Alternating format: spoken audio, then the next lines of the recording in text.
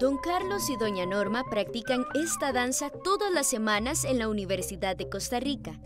Se llama paneuritmia. Tengo como cinco o seis años de practicarlo. Y bueno, es una danza que me, me ha brindado beneficios, sobre todo a nivel interior. Pues yo creo que son muy buenos, muy importantes porque le dan la oportunidad a la persona adulta a desenvolverse en otros ambientes que no ha conocido.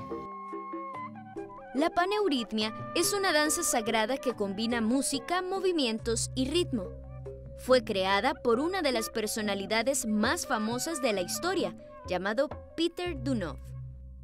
La paneuritmia se bailó mucho, mucho tiempo en la época de la, de la órbita soviética en esos países, eh, se bailó escondida en las montañas. Y la música el maestro la creó especialmente, tardó 10 años creándola. La paneuritmia tiene unos principios espirituales que sustentan los movimientos físicos. Entonces cada uno de esos movimientos significa algo, tiene un profundo sentido para el alma de las personas.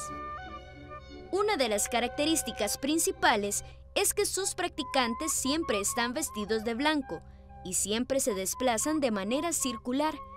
Ese círculo representa el camino de la vida según esta práctica. Como se trata de, ser como un poco más espiritual, el blanco representa eso, como la paz que logramos al, realizar la, la danza. Este grupo tiene ya 22 años de existencia y forma parte de los más de 30 cursos del módulo de movimiento humano ofrecido por el PIAM cada semestre.